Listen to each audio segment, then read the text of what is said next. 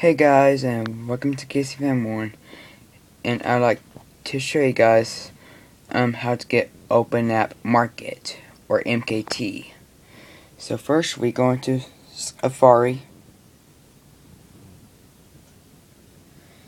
and then we search here. Let's see.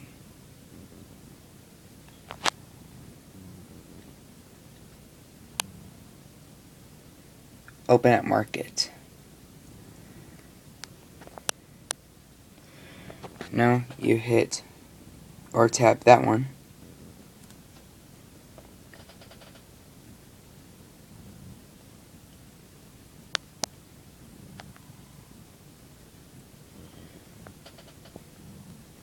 And now on the iPad, you have to tap it like right here on the iPad. It's because that's what I'm using.